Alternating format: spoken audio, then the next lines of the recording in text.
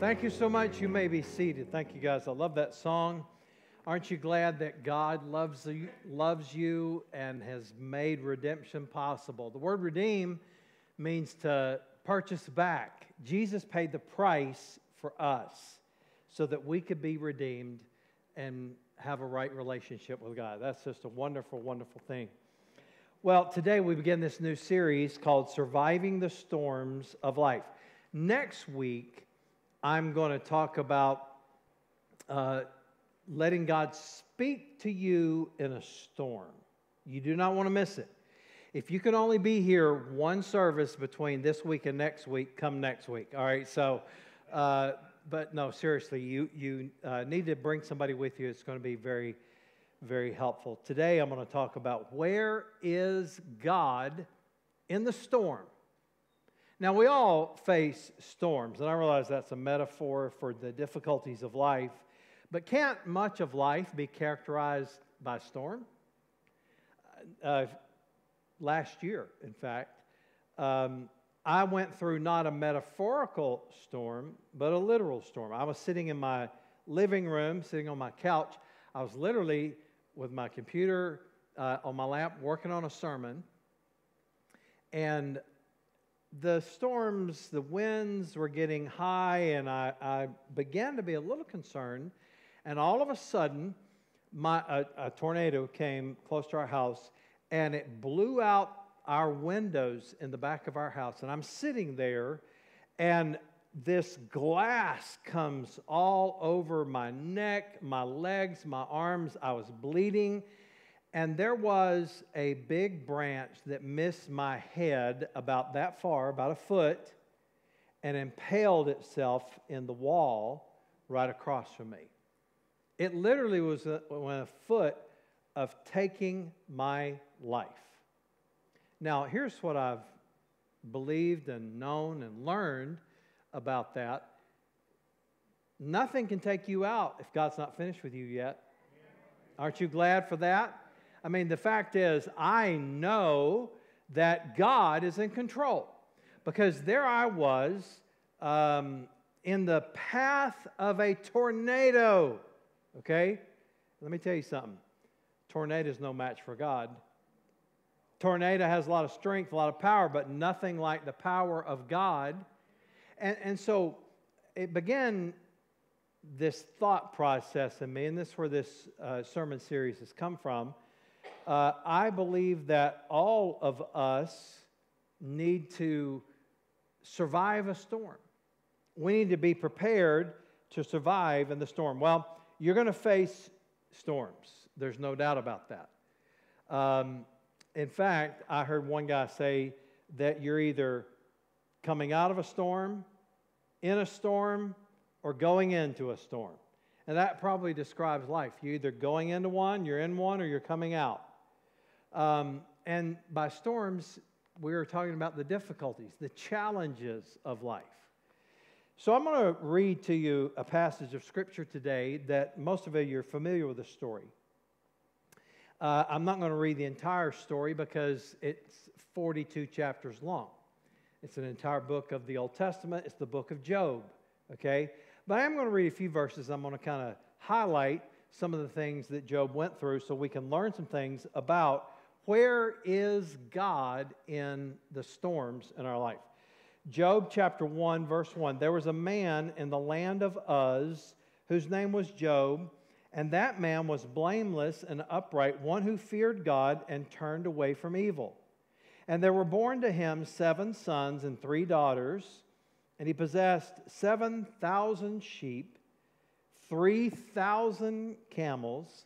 That's a lot of camels and 500 yoke of oxen, and 500 female donkeys, and very many servants. So that this man was the greatest of all the people of the East. Now, I'm not going to spend time trying to read the entire book or even an entire chapter, but I'm going to give you, in a nutshell, what happened to Job. Job was serving God, Job was a man of integrity. Job had every reason to expect that life not only was good, but that it would continue to be good. And in one day, Job had his possessions When we say his possessions, we're talking about all of them, not some. He didn't just lose a car, he lost everything. Not only did he lose his possessions, he lost his family. His 10 children died in one storm, one day, one accident. And his own wife turned against him. She said to him, Why don't you curse God and die? And then, of course, we know that Job lost his friends because his friends came supposedly to comfort him. And the way they comforted him, they stared at him for a few days to begin with and didn't even say a word. And then when they did talk, they really began accusing him and telling him, You're a bad person, Job. You are getting what you deserve, Job. Can you imagine having friends? Who needs enemies when you've got friends like that? So, in one day, Job lost all that. And then in the next day, he lost his health. The Bible says he was covered from head to toe with boils. I don't know if you ever had a boil or not, but that, they're very painful. And uh, it said that he sat in a heap of ashes and he scraped his skin with a broken piece of pottery. That's how much pain Job was in. So get the picture. He was very successful, he had a lot of wealth, he had a lot of success. He was a very respected man. And in one day, he lost his family, not just some of them, all of them. He lost his possessions, not just a little bit, all of his possessions. He lost his friends. He lost his health. Now, think about that. I would say that Job knew more about human suffering, about ultimate suffering, than anybody, not only that I've ever known, but I've, anyone that I've ever heard of. I've never heard of anyone that lost as much as Job did in a short period of time. And yet, the Bible tells us in the book of Job that Job did not sin with his mouth. He did not accuse God of something that he didn't do. What incredible integrity that Job had. And so here's the questions, though. Understand that Job did ask God a lot of questions. The interesting thing is that God didn't always answer, okay? Um, God doesn't always answer our questions. He's not a, afraid of you asking questions. He's okay if you ask questions. It's okay to ask questions of God. But just understand that God is sovereign, God is God, God is in control, and He doesn't always give us a satisfactory answer. I've asked God, why did I go through physically what I went through a few years ago? Why? And God never answered me. I did learn that I grew spiritually from it. I did learn that I, I, learned to be thankful even in the midst of my storm. And God made me a better husband, a better pastor, and a better Christian for what I went through. And so, where is God during the storm? This is a question that Job asked. And there's nothing wrong with asking that question. I, really have two points that I want to give you today. And the first answer to that question is God is sovereign in the storm. Now, I know that doesn't really answer where, but it does answer who He is. Where is God in the storm? First of all, you always have to remember God is sovereign during the storm. You don't have to worry that God is not in control or that He has lost control. God is always, always in control. Now, Job asked two basic questions that people still ask today. He asked two questions of God. The first one was, Why do bad things happen? You've probably asked that question before. You've probably asked it this way Why do bad things happen to me? Or maybe you've asked it this way Why do bad things happen to good people? You ever asked that question? You ever wondered that? The fact is, uh, that's probably the opposite question that we should be asking. Because when we understand how good and how gracious and how powerful God is, and we understand our own sin nature, maybe the better question would be why does anything good at all ever happen to us? But Job asked that question. It's a human question, it is a common question Why do bad things happen? You've probably asked that question yourself. And then the second question that Job asked of God was this Does God really do what he says? God promises that he would never leave me or forsake me. I've heard the preacher say that. I've read that in the Bible. But is that really true? Yeah, now don't raise your hand. You're in church, okay? But have you ever wondered if God kept his promises? You ever been in something so painful, so horrific, so bad, and you know that God promised to be with you?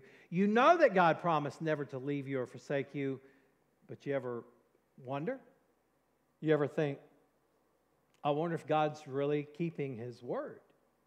And by the way, if you've ever felt that or thought that, you're not in bad company. King David, the man that wrote most of the Psalms, he asked that question multiple, multiple times. And if a man like David, who was faithful, a man like David, whom God used not only to be the king of Israel, the ancestor of Jesus, but he also used him to pen Holy Scripture. If a guy like that's going to ask that question, then I don't feel so bad when I ask that question. Does God really keep his word? Does God really show up the way that He promised to show up? Does God always manifest Himself when I'm going through a storm? Well, those are two very powerful questions.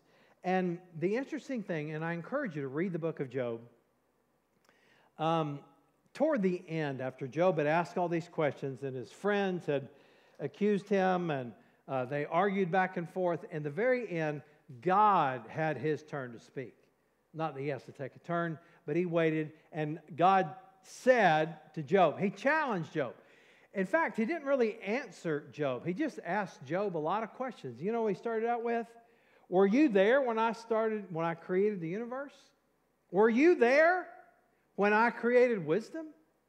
And often, the problem that God reveals to us is not that we ask questions. It's okay to ask questions. But the thing that I learned from reading about Job was that sometimes we ask the wrong questions. The wrong question may be, why do b- bad things happen to me? That may be the wrong question. God wants us to look at his promises and understand that he is sovereign. He is in control. He is sovereign in the storm. Uh, Ephesians 1:11 says, "Furthermore, because we are united with Christ, we have received an inheritance from God, for he chose us in advance, and he makes everything work out according to his plan." Now, isn't that a mouthful? I mean, the truth is, God has a plan, and he is going to work things out according to his plan. I realize that we get all nervous and um, some of you, you're so nervous you have coffee, cigarettes, and fingernails every morning for breakfast. That's what you're, you're just nervous all the time. You're worried about the economy. You're worried about your job. You're worried about your health. You're worried about the election. You're just worried about everything. And here's what I take comfort in knowing God works everything out according to his plan. He is sovereign even in the middle of your storm. Now, God showed Job how to respond to his sovereignty. He showed him that he is to give God control because we can trust him. God's trustworthy. And, here's the thing we've got to learn to release our problems to God. And then he taught Job how to find joy in his current circumstances. Now, this is a big one. Because if you and I will learn how to do this, we'll be able to find joy somewhere in the way things currently are, not in how we think they ought to be. Now, listen. If all you're doing is worrying about how things ought to be, you're not going to be very happy. If all you do is worry about, you know, well, if it ever gets like this, or if I ever get my house paid off, or if I ever get my car paid off, or if my kids ever get out of my hair and get out of school and I have to quit paying for college and all this stuff, if that ever happens, if I ever get that second house that I want, if I ever get an extra week of vacation, if I ever move into a neighborhood that's nicer, if I ever get a house that I is my dream house, if I have you ever noticed that we put a lot of conditions on our happiness? We put a lot of conditions on our joy. And here's what God taught Job learn to be content. Doesn't mean that you shouldn't have goals or that you shouldn't have a desire to get better or to do better or to get a promotion at work or uh, to have retirement. That, that's not what that means.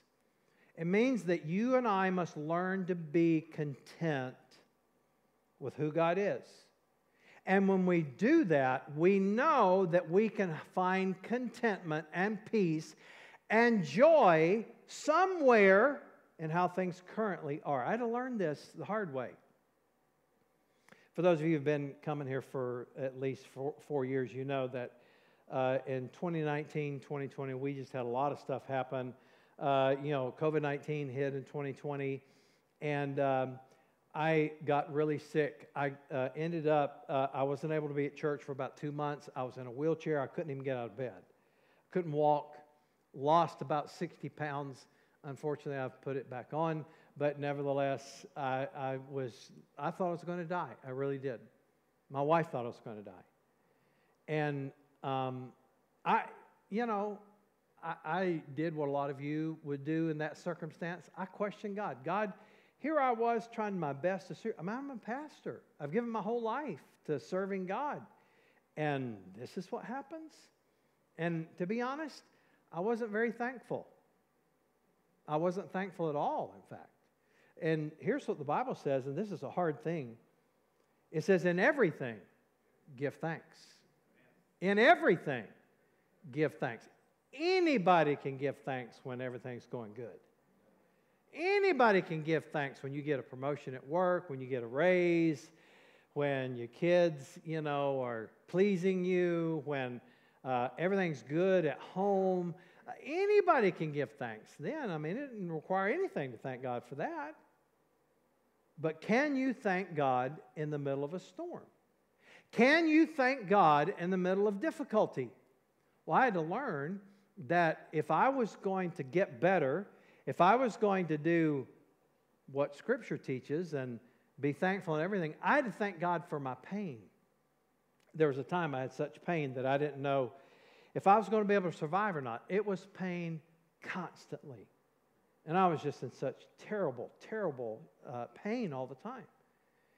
And when I began to trust God, when I began to thank God, I remember the time that I came to that point where I finally said, God, thank you for my illness. Thank you for my sickness. And people in our church and all across the world were praying for me, and we were claiming God's healing. And God has healed me. I'm progressively better. I, I, I, still got a little bit of a limp, but I can actually jog a little bit now and get around. And uh, don't tell Kim. She thinks I'm still disabled and I can't do anything around the house. All right, so, uh, but the fact is, the fact is, uh, when I began to be thankful and to realize that God is in control no matter what, when I began to find joy in how things currently are, not in how I hoped they would be or could be one day, it transformed my attitude and my thought process. And I really want to challenge you to do the same thing. Hebrews 4 14. So let us cling to him and never stop trusting him. That's the key. You want to be able to survive the storm, you want to be able to be thankful during difficult times, cling to Him, Trust Him. And don't ever stop trusting Him. Well, this brings me to my second and my last point that uh, God's sovereign in the storm, but where is God in the storm? Number two, God is present in the storm. And you need to understand this God is present in the storm. Her, Hebrews 13 5. Let your conduct be without covetousness, be content with such things as you have for he himself has said, I will never leave you or forsake you. Aren't you glad that God made that promise to us? He is present with you even during difficult times. Well, which brings me to this question. If God is present in the storm, then why do storms happen at all? Why doesn't God just let us have sunny days and mountaintop experiences? Why can't we have more of that? I mean, I don't know about you, but I like that a lot better than the valley and the dark days and the troubled times. But why does God let storms happen? Well, there's a couple reasons. Uh, number one, storms happen primarily because of Adam's sin. You say, what do you mean by that? Well, Romans 5:12, when Adam sinned, sin entered the entire human race, and Adam's sin brought death, so death spread to everyone for everyone's sin. So here's the point. All bad things stem from the sin of Adam. I'm not saying all th- bad things stem from your sin. Some people think that God's always angry with them. Now, that's not the case for believers, okay? You have God's favor, you have God's promise, you have God's blessing on your life. Now, can we displease God? Can we refuse to serve God? Sure, okay? But just because you have a flat tire on the way home does not mean that God is judging you, okay? Sometimes you run over a nail and you get a flat tire. You know? Sometimes uh, we think, well, God's judging me. My refrigerator broke down. Well, you know, guess what? Sometimes refrigerators break down in this world, okay? So it's not always a sign of God being angry with you, okay? So, uh, but all problems come as a result of the sin that was introduced into the uh, the world by Adam's sin. This means war and death and disease and poverty and crime and pain. These all happen because of Adam's sin. So, whenever you're dealing with somebody and they question, why are these bad things happening? It's not because God's angry, it's not because God's mean, it is because of our sin. You say, well, couldn't a just and loving God have kept all these bad things from happening? Sure. Couldn't He have kept us from sinning? Sure. But you would not have been human. You would not have had a free will. You would not have been able to respond to God if He had just uh, made you like a computer. The fact is, the reason, and, and this is hard to get your head around sometimes, the reason that these things can happen is because God loves us so much that He gave us a free will, because without a free will, you could not experience the love of God. You couldn't know it, you couldn't understand it, okay? And God's love is so amazing and so great and so wonderful, He did not withhold that possibility from mankind, okay? So, bad things happen primarily because of Adam's sin, and then storms can make me better. Sometimes God lets storms come into our life, not because He's mad at us, because He wants to make us better. He wants to help us to improve. Hebrews 12, 5 to 7. So don't feel sorry for yourselves, or have you forgotten how good parents treat children and that God regards you as His children? My dear child, don't shrug off God's discipline, but don't be crushed by it either. It's the child he loves that he disciplines, the child he embraces, he also corrects. God is educating you. That's why you must never drop out. He's treating you as dear children. This trouble you're in isn't punishment, it's training. Everybody say the word education. Education. That's what God's doing. He's educating us, making us better. Um, Hebrews 12 10 while we were children, our parents did what seemed best to them, but God is doing what is best for us, training us to live God's holy best. So, why do bad things happen? Why do storms happen? Well, sometimes it's to make us better. Storms prove His love. You remember the story of Joseph? Um, how that he was one of the 12 sons of Israel, and his brothers sold him into slavery and he went to Potiphar's house and then he got thrown into prison because Potiphar's wife, wife accused him of what he didn't do. And for 13 years, Joseph was 17 years old when this started. Can you imagine how difficult that must have been?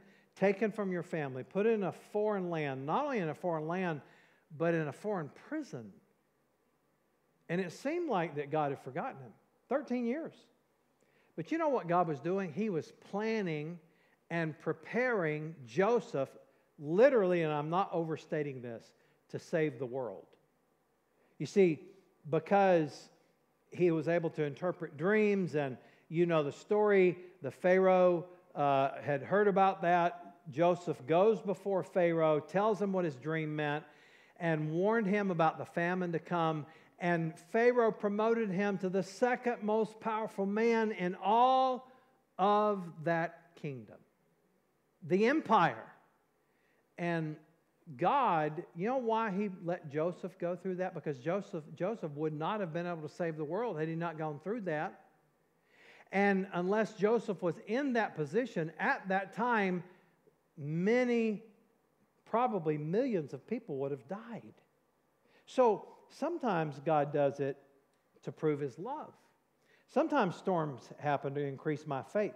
These trials are only to test your faith, and your faith is far more precious to God than mere gold. It will bring you much praise and honor on the day of his return. Why do storms happen? Well, sometimes they happen to help others. You see, God wants your experience to be something that will be a help to someone else. And then sometimes storms prepare you for difficulties that lie ahead. Aren't you glad? I, I don't know if you've watched any of the Olympics. Uh, last night I was watching uh, some of the swimmers and some of the runners and the track and field and just different things. I even watched a little bit of handball. Never watched that before. That was kind of a strange sport. Um, and anyway, I was watching this, and it became obvious to me that these athletes had survived a lot of pain. They'd made a commitment that no matter what, they were going to stick with it. And for many of them, it paid off. All of them, it paid off. They became Olympic, Olympic athletes, and some of them won the gold medal. But their difficulty, whenever they were running or training, I was watching this uh, Katie Ledecky, I believe is her name. She's won more uh, swimming medals than any American woman in history, and she's won, I think, four or five gold medals now. And her big event is the 800 meter freestyle swim. I don't know if you've watched that or not, but that means that she was swimming for over a half mile. Now, I don't know if you ever tried to swim that far or not. That's not easy. And it's especially not easy if you're trying to do it as fast as you can. And I watched her as she won the gold medal. And I watched her as she finished that race. Man, she was out of breath. And I thought to myself, that woman has trained unbelievably hard and incredibly long so that she could be where she was at that time an Olympic champion, a record breaking swimmer. You know what she did? She didn't give up whenever it became difficult, which I promise you, it got difficult. If you ever tried to swim that far, it's difficult. And this woman, uh, she just never gave up because you know why she trained? Because she knew it was going to be some hard times ahead. And she trained and she got better. And then finally, storms help you overcome the fear in your life. Don't you imagine Job had a lot of fear? But fear does not get displaced by self confidence, but rather by God confidence. And the reason that Job was able to survive the storms of life was because he was confident, not in himself, not in his culture, not in his money or possessions, not even in his family, but his confidence was in God. And as a result, he was able to survive the storm. Let's pray at this time. Lord, we thank you for your love. We thank you for how much you have blessed us and been with us. God, I pray that you just help us to follow you with all of our hearts. And Lord, we thank you for what you're going to do. Before we finish our prayer, I wonder if today, if you would say, Pastor, I need to receive Christ as my Savior. I'm not sure I'm a follower of Christ, but I'd like to be. Is anybody like that? Would you raise your hand? You need uh, prayer for that? I would encourage you today, if you would like to have prayer, come up front here to this uh, stand and we'll have somebody to pray with you with our prayer team and they'll talk with you and you can get that settled. But with our heads bowed, I wonder how many would say, Pastor, I've been through some storms lately. I've been through some difficulties lately, and I want you to pray that God will give me strength to trust Him. Would you raise your hand? A lot of hands. A lot of hands. Lord, I pray that you just bless everyone here that's going through a storm. Help us to know that you're sovereign, you're in control, and that you're always with us. For it's in Jesus' name that I pray and ask these things. Amen. Amen.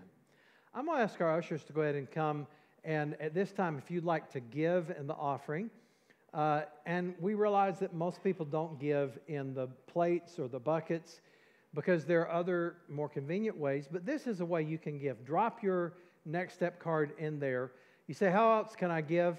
You can go to stillwaters.online, you can give that way, or you can text the number 84321. 84321. Um, and you can give that way, or you can sign up for the Church Center app and you can give uh, through that app. That's the way Kim and I give most of the time, and uh, it's just a very convenient and easy way to give. All right. Well, we went a little longer than normal, but we got a lot accomplished today. And uh, let's give our people that got ordained today, let's give them a hand once more. So excited for them and so excited for our church about how they're serving God in this place. All right? Well, don't miss next week. Next week, um, we're going to talk about hearing God's voice in the storm. I'm going to talk about from 1 Kings 19 uh, about Elijah. He got discouraged. In fact, he got so discouraged, he asked God to kill him. I don't know if you've ever been that low or not, but he was, and you do not want to miss how you can hear God's voice, how God speaks to you during difficult times. All right? Hope you'll bring somebody with you. I love you. Thank you for being here today. We'll see you next Sunday.